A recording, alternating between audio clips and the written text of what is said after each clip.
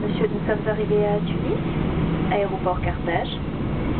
Il est 11h20 et la température est de 11 degrés. Votre ceinture de sécurité doit rester attachée jusqu'à l'extinction de la consigne lumineuse.